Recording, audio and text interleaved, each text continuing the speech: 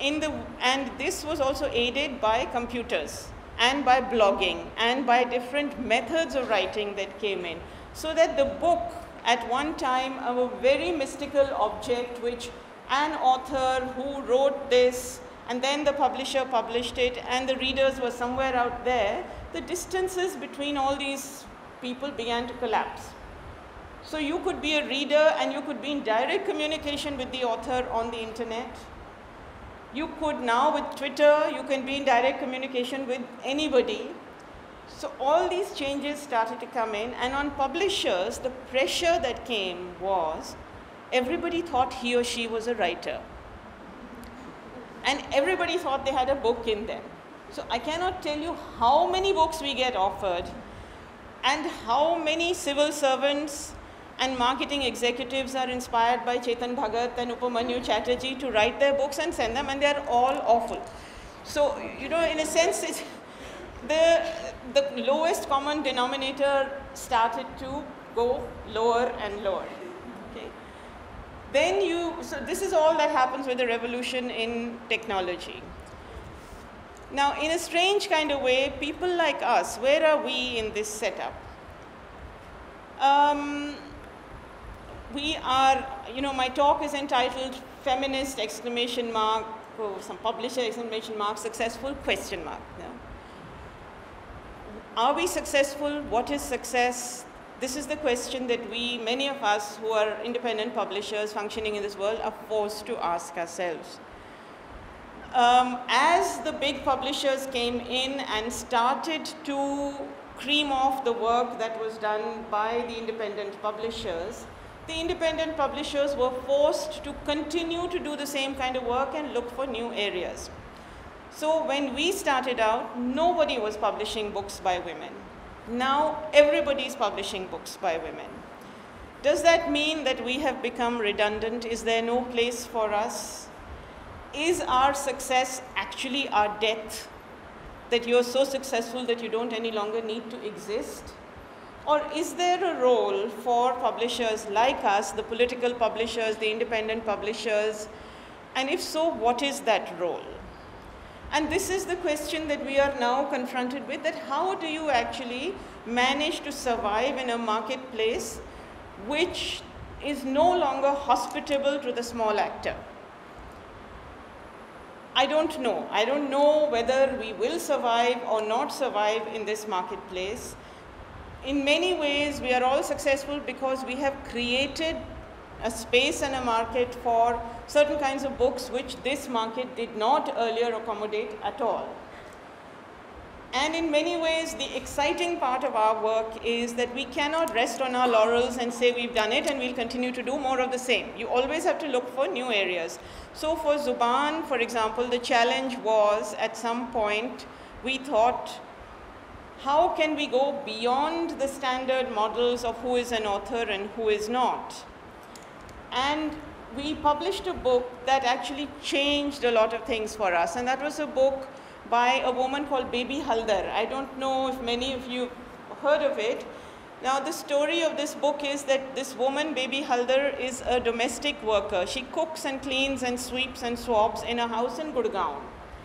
And she had, as many domestic workers do a very hard, very difficult life, married really early to a violent husband, three children, and at some point she decided, I can't take it anymore, and she left her home in Calcutta and took a train and came to Delhi and gradually made a life for herself here and found, after many unsuccessful attempts, an employer who turned out to be the grandson of the Hindi writer Premchand um, Premchand was one of the foremost novelists in Hindi in the 30s and this man, Professor Prabodh Kumar, Premchand's grandson, who had a somewhat enlightened attitude to the domestic working in his house and who noticed the attention she paid to his books and gave her books to read and one day gave her a notebook and a pen.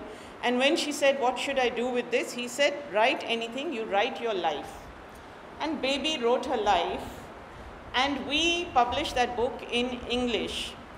And to me, it was a really, you know, after the Sharir Ki Jankari book, this was the book that changed our lives in the it has to this day it has been the book that has earned us the most money so there is a somewhat delicious irony in the fact that a poor woman's writing changed the fortunes of this publishing house as well as her own fortune of course because she's earned a lot of money out of it but this is the kind of thing that we then started to focus on in order to stay ahead of the game. Now for us, actually, there are many challenges and the question is one of survival. Do we survive? I, as a publisher, think uh, that you know you can do exciting work, but there's always new things that you should be looking at. And the question for me now is, how is publishing as a whole in India and publishers like us specifically who see ourselves as politically engaged publishers, how have we, for example, never ever thought of publishing books for the blind, for the differently abled, for those who cannot read properly, for the old people, large print books? We've never thought of it, you know, these, so for years, I have been congratulating myself or I've been feeling that we are doing something important in the world of women's publishing. But now the question I'm asking myself is, how could we have come till here and not even thought of these areas of publishing? And then, how are we to survive in the face of that huge competition from multinational publishers and do the kinds of things we want to do, these kind of things?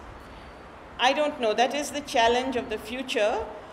And I think there's only one other thing I would like to add before I end that the whole uh, business of being a feminist and a feminist publisher is not only about what you publish, it is also about how you function in your working life. So one of the challenges for me was, is there a feminist way of running a business? Can you bring the politics that you have learned in your feminism to obtain in the workplace in which you function? And I can tell you that it's tough. It's a big battle. And you battle your own prejudices also. Because no matter, for example, how much I think I'm a liberal, open, feminist, etc., when my colleagues the people that work with me. Um, I have two or three men who work with me, and mostly it's women. We have a flexi time office which gives all of them time for their homes, their families, their children, and so on. Uh, we give them food in the office so that it's, they don't have to bring food with them and all of that. But then what happens is, the girls in my office will say, okay, tomorrow we want to take off because my child is ill, I have to go to his school, I have to take my mother somewhere. Okay, so you think this is part of sometimes being a single mother, this is part of your responsibilities as a woman. Then the man in my office will come and say, ma'am, I want tomorrow off. वो Chami ki tabiyat kharab hai, I have to stay home and look after her. And then if I say to him, but what about your wife? He'll say, but she's going to office. So what is this? Is this ghar ki baat? So there is a way in which the woman-headed office has to fight to establish its legitimacy among the men and women that you work with. And for you as a boss, for me as a boss, it's very important to teach myself how to function in a feminist and egalitarian way without feeling resentful and exploited it becomes a very different sort of power relationship. So that's been one of the challenges. The other challenge, which feeds into what I was saying to you about surviving in the marketplace, is that when you work in a politically engaged uh, organization like this, people come with you out of a sense of commitment. And they work for much less than they might get in the market as a wage. Every single one of my colleagues has done that for many years. But can I continue to exploit them in this way? You know, it's really not fair on people because they have to live their lives.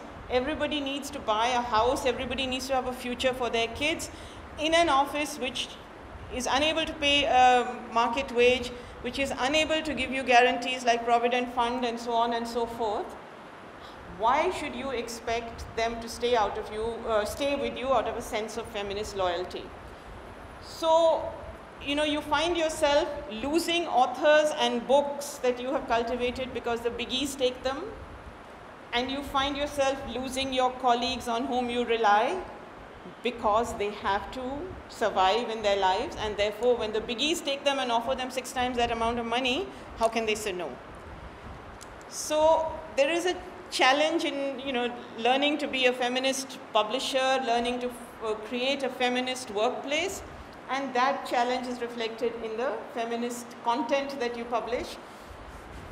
And then, if you put those together, surviving in a marketplace which is now increasingly um, unhospitable and increasingly governed by big money. And I don't know whether we'll survive in that. So if we do, great, this is what I would like to. If we don't, at least we will have gone down fighting, which is something. Thank you.